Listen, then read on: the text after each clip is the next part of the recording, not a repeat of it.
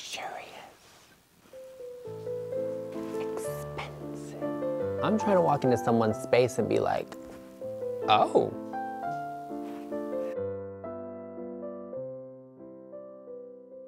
Hey there, hi, welcome to the channel. I am Garrett, and in this video, we are talking all about the things that make a home look expensive and luxurious and beautiful, but don't necessarily have to cost you a fortune. We talk about interior design on this channel because I'm a formerly trained interior designer and I help to elevate and upgrade your spaces and get you that luxurious feeling you are after. So be sure you are subscribed to the channel and you give this video a like. Now we've got a lot of things to get through, so let's get into the video. Now, the first thing that, in my opinion, makes a home look expensive is beautiful drapery hardware. There's a lot of videos out there, there's a lot of advice about drapery, but the most important thing, in my opinion, is the hardware. I wanna see beautiful, substantial drapery hardware, but that doesn't mean it has to be expensive.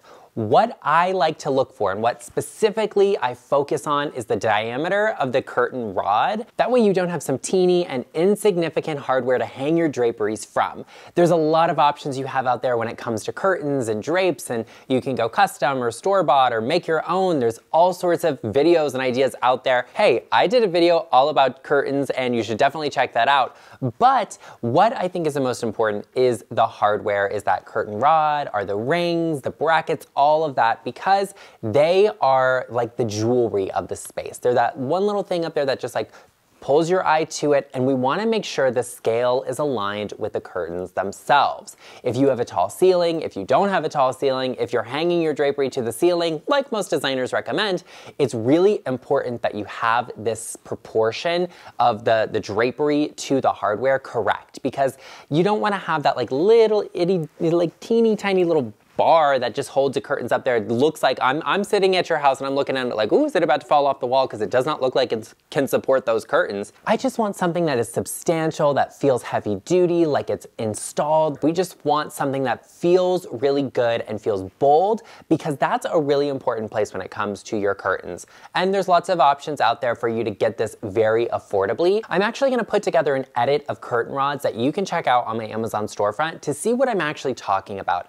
I want these rods to feel substantial. I want them to feel beautiful. And there's lots of options. If it doesn't matter what your style is, doesn't matter what color of hardware you opt for, having a substantial curtain rod is always going to make a space feel luxurious. It's going to make your curtains look more expensive. Even if you did do something store-bought, like if you're gonna go for store-bought curtains, I always say get them longer and have them hemmed so that they fit, they look custom, but you can do that very affordably. And having a really good curtain rod that doesn't necessarily have to be expensive is always going to elevate them and make those even store-bought curtains look luxurious and beautiful and sumptuous, darling. But like I said, it doesn't have to be expensive. Something really great you can also do is is opt for like a wooden curtain rod. That's always something really fun. You can get a custom size and paint it any color you want. That's a very like historic kind of idea, but curtain rods are available just about everywhere. I'm gonna link them in my Amazon storefront, of course. And some of the ones I have in my home are actually from Ballard. I really like those because they sell each component individually. So you can get different brackets, you can get a different curtain rod, you can mix metals, you can do different finials, lots of options there that I really like. But you just wanna make sure that you're getting something something that looks and feels substantial and is also good quality. That does not mean it has to be expensive or you have to get some special custom curtain rod made. You can easily go for something that is store-bought that will be beautiful and luxurious as long as it's the right diameter. And the diameter we typically see for these is 0.75 too thin, it doesn't feel luxurious, doesn't feel substantial. I always like to see at least a one and a quarter inch diameter for a curtain rod. It feels heavy duty, it feels luxurious, it feels like it's a built-in component of a home and not like it's barely holding those curtains up because it's it, like if you go for something that is thin, it probably barely is. This is when you see them when they're like they're like bent and like concaved in the middle or whatever. Not the vibe, not beautiful, not luxurious or substantial. So be sure you are looking for the right curtain rod and you are really taking your time to consider that because it's one of the first things I notice that instantly says luxurious, expensive to me. The next thing that I think makes a home look more expensive is when you have that like one-off antique wood piece. I like to see an exotic grained piece. I like to see something that is just warm, that's going to counteract and juxtapose whatever else is going on in the space. I always think that looks luxurious and expensive because it kind of can be, but you can also find a lot of these pieces really affordably because right now they're not in, they're not popular, they're not trendy. People are destroying them and painting them, which we have talked about in my unpopular interior design opinions video. Definitely check that out. It will be linked below. But these wood pieces are always gorgeous and there's some sort of them. There's one piece that is going to fit and work with your style or it's going to contrast your style and make it look even more luxurious. For example, if you have a more modern space and you wanna get a wood antique piece, maybe look for a Danish teak piece of furniture. That's always really gorgeous and they're not really that popular right now. Maybe you like more traditional interiors and you want something that's mahogany or a burl wood. Those can always be really beautiful and they're exotic woods. And I cannot tell you how much of this I am seeing all over like Facebook Marketplace, in vintage and consignment stores, really affordably that can be scored at like such an amazing deal right now that, you know, you hang on to it for a little bit. The value of it's gonna go up once these become trending again. And trust me, they definitely will. You wanna jump on this trend now. I also really like this if you get more like a primitive piece of wood, just some, some sort of wood and wood tone to me always looks expensive when juxtaposed with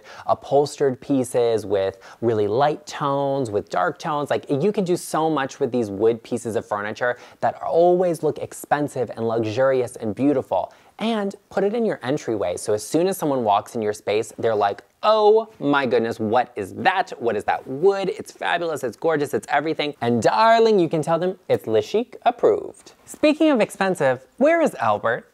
Albert, where is Albert? Oh, there you are. Oh, yes, there you are. Hi. Are you expensive? Are you very expensive? Oh, yes. The little star of the show. Hmm?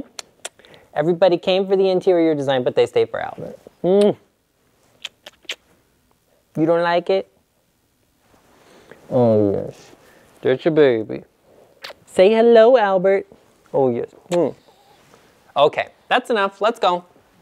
The next thing that I think always makes a home look expensive is when you do something to your ceiling. As a general rule of thumb in interior design, we always look at a ceiling as one of the most unused spaces in a home because you have the same amount of ceiling space as you do floor space, but you're not putting furniture on the ceiling, or maybe you are, and that's just a, your business. I don't know about that, but not the point of this video. But addressing your ceiling and doing something with it will turn it from being that like flat surface that's above your head that, I don't know, keeps rain from getting on you or whatever, into a design feature that will elevate a space. And like I've been saying, this does not have to be expensive. There are lots of options and things you can do to upgrade a ceiling. You can paint it to match your walls. You can paint it to contrast your walls. You can do a really fun or interesting color. I paneled and shiplapped my ceilings because we just wanted to have something extra, something to elevate the space, and something that would just work more with the architecture of our home and enhance it, bring in some more details. We actually did a faux coffered ceiling, we did some shiplap in some of the other areas, and it's something that people walk in and they're just like, oh my goodness, look at that ceiling. Oh my goodness, where did you have this done? Well, I did it myself, darling, and I saved a ton of money. It's beautiful, it's gorgeous, it elevates the space. There are so many cool ideas that you can do to a ceiling. It's not even funny. You can paint patterns, you can actually install like grids of like MDF wood or whatever and paint them contrasting colors to get that coffered kind of look. I always love that. I think it's so beautiful to just have something going on on the ceiling. Even if that means you repaint your flat white ceiling actual white paint because white ceiling paint is just not the vibe. It's not it. Paint it to match your walls. Just have it all sprayed or whatever. Do something to the ceiling because it's going to elevate and upgrade a space. Even if that means you just add like a little ceiling rose or medallion under a light fixture. That's always really cool. You can do a contrasting color to your trim if you have beautiful crown molding. Something I also recently saw that really piqued my interest was um, on Instagram, one of the people I follow, she painted all of the walls and trim, like the baseboard and the crown molding, one color. And it was a very beautiful but soft color, really interesting. I'll put a picture of it here. But she left the ceilings a really bright and fresh white. And it created this really interesting contrast because she painted that trim work. Something like that is interesting too and doesn't really require a lot of work to a ceiling. Maybe your ceilings are already white and you just want to make them pop. You want to make them a focal point in the room by doing something like that. So cool, interesting, unexpected, looks expensive and looks luxurious and will totally elevate and upgrade any space. The next thing that always makes a home look expensive to me are unexpected color schemes. Using color in interesting ways, using bright and fresh colors, but I always like to see those colors be somewhat muted. If you're gonna take a chance, you don't want it to be like a shocking neon color. Maybe that's your vibe and that's great if you're like living in a roller rink or something, but for a home, I always like to see a more muted or soft, just something, some color with the edge taken off of it. That way it just feels soft and luxurious. It just feels warm and welcoming. An unexpected color is just always going to be something that stands out without being obnoxious. And you wanna make sure you're incorporating whatever color it is into your color scheme. Maybe you pick an accent, a floral that matches it, a pillow, maybe it's a pattern, or you pull a color out of a rug and do it in a little bit more of a muted tone. There's lots of interesting ways you can go about doing this. A lot of people are adding color into their spaces right now because we're moving from this place where we really liked these kind of monochromatic, warm tone color schemes, and we're, we're just trying to have something a little bit different. It's fall, we want something cozy, we want it to be warm. People are doing greens, people are doing a lot of reds, some oranges are really beautiful right now. We're doing these, but we're doing them in soft and unexpected colors that are just kind of different, not expected, what no one is thinking they're looking for. And it really is just kind of that like, it's honestly just seeing something like this in someone's home is that wow moment. And you're just like, I was not expecting that. I was just not expecting this color. Who would have thought this would have been the color? I never would have gone into a hardware store and chosen this, or I never would have gone into a paint store and chose this color, but now that I'm seeing it, I'm like, oh my goodness. We want that. That's the reaction you want because it instantly just elevates a space. It instantly creates a mood. It creates a focal point, a conversation piece, a really interesting color that's personal and reflects you, but it's paint, so it's kind of easy to paint over it once you're tired of it or you're ready to move.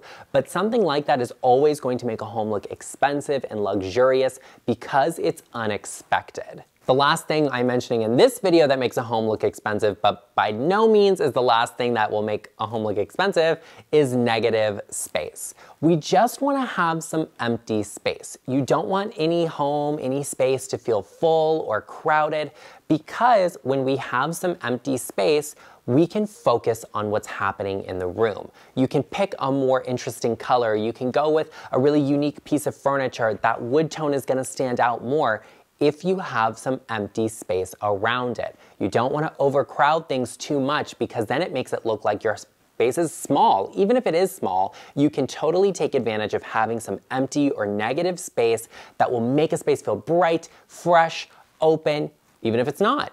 That's something that is always going to make a space look luxurious because it kind of says to a person, it, it, it says that you know when to stop. That's, I think, the key to interior design is just knowing when to stop, knowing when it's too far, and pulling back. You want to have a space you love, you want to have all of the things you love in it, but sometimes you can rotate them through, move things in and out so that you have that negative space. Being able to see some of the floor, being able to see the baseboard, see that wall color is really going to allow it to speak because it's not crowded, it's not full, and you can see it. That's how we know what we're looking at is when we can see it. So don't overcrowd a space, have some of that negative space. You don't need to cover every wall in a piece of art or a piece of furniture. Just knowing when to stop is the key to interior design. It's the key to that luxury feeling because less is more unless you're me because then more is more. But that negative space will always speak way more, it speaks volumes more than having a ton of stuff in a space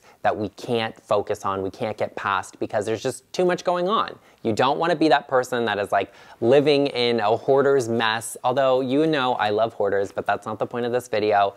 We want that negative space so that we can breathe, so that we can take things in, and so that we can appreciate the things we have instead of just focusing on all sorts of stuff that's all over the place. Negative space, the key to a luxurious and expensive looking home. Well, there you have it everyone. I hope you enjoyed this video. If you did, be sure to let me know in the comment section down below and share with me what are some of the things that you think make a home look expensive but don't have to necessarily be expensive. We want to hear from you, so be sure to let us know and give this video a like.